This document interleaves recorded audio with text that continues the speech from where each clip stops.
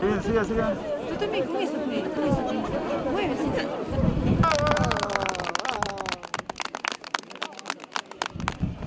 Señor ministro, señor congresista, estimados compañeros dirigentes, queridos hermanos y hermanas, es un honor estar acá.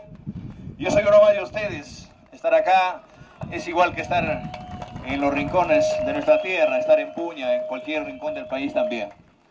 Traigo el saludo del doctor Aníbal Torres, de nuestro premier y de nuestros ministros también para todos y cada uno de ustedes. Satisfecho de estar con ustedes, pero antes de hablar, de poner la primera piedra, hoy mismo voy a direccionar y voy a hablar con el ministro de, de Energía, a la ministra de Energía y Minas, que envíe una comisión inmediata, porque estos pueblos, nuestros pueblos, nuestros vecinos, nuestros hermanos, no pueden estar sin luz. Y es más, voy a tomar contacto también con el ministro de Vivienda para ver el tema del agua potable de la comunidad. Queridos compatriotas,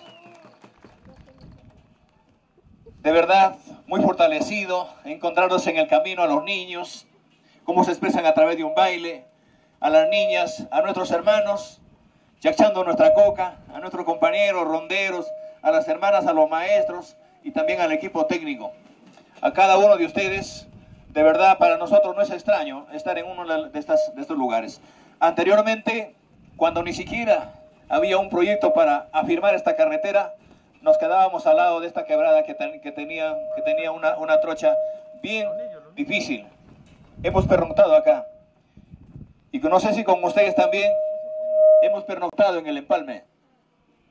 Haciendo ahí, gestando esta lucha para que esta, esta vía carrozable tenga la posibilidad de, de tener una pista pero también vemos también que hay ciertos deductivos a la cual a través del Ministerio de Transportes vamos a ver de qué manera encaminamos también la viabilidad de esta vía tan importante.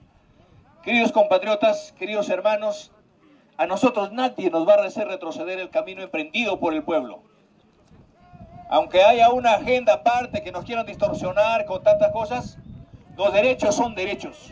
Y el derecho que tiene el pueblo es el derecho a la educación como lo tiene cualquier pueblo del Perú y del mundo. El derecho que tienen los niños a la educación y a la salud la tenemos que hacer prevalecer. Hoy ha llegado el tiempo de revertir los derechos frustrados, postergados, por años, por décadas. Y nos quieren involucrar en actos de corrupción cuando no la tenemos. 11 meses de gobierno y quieren encontrar un indicio que Pedro Castillo ya haya llamado a una empresa para decirle dame tanto. Se montan falsas verdades cuando la verdad es esta. La verdad es que este pueblo la verdad es que nuestros pueblos oriundos del país no tienen los recursos necesarios para, para sobrevivir. Y por eso estamos acá, para que los recursos del país sean para los peruanos. Los recursos del pueblo peruano sean para los niños, sean para la familia, sea para el pueblo abandonado, para nuestros hermanos agricultores. Y en eso estamos convencidos como chacreros, como obreros, como agricultores.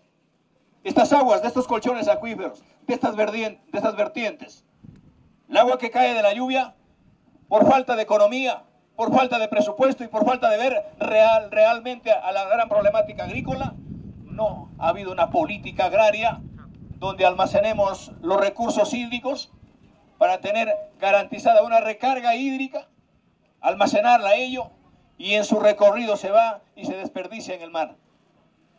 Y hoy a través de nuestro ministro, que tiene la tarea, señor ministro, que hay que recorrer el país, hay que recorrer la chacra y vendremos en el momento que no solamente se almacene el agua, sino también para ver si es que esa agua está llegando verdaderamente a la chacra.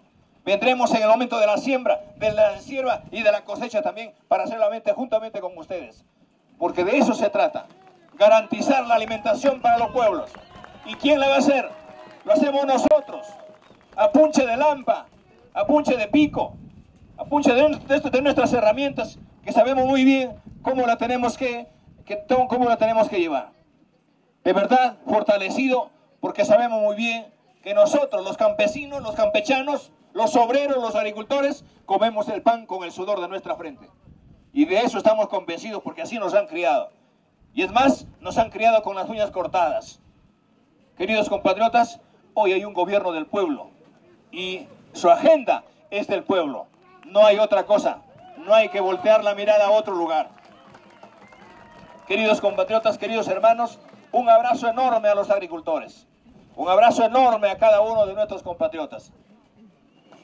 Hemos venido, estamos en un momento donde hay grandes retos y también han habido grandes amenazas como la pandemia y también de igual manera como este problema de la guerra entre Ucrania y Rusia. Pero el Perú es un país totalmente rico.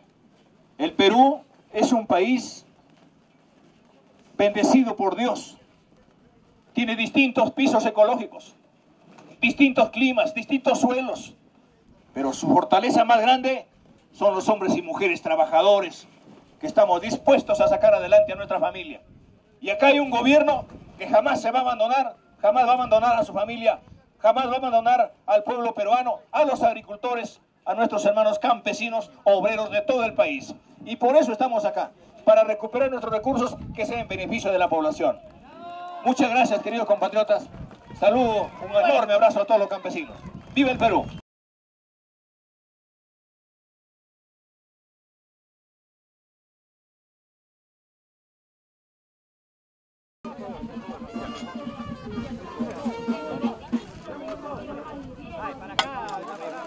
Ministro también que venga, el ministro. ¿Dónde está el ministro? Sí, sí, sí. El ministro. Ministro, venga, venga. Ministro.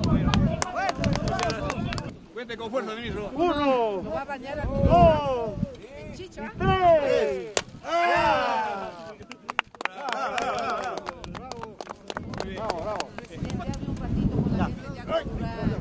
de Miragri. Muchas gracias a todos los que han podido participar, como- es la gran banda eh, orquesta de 20 de mayo de San, de San Miguel, de la provincia de San Miguel.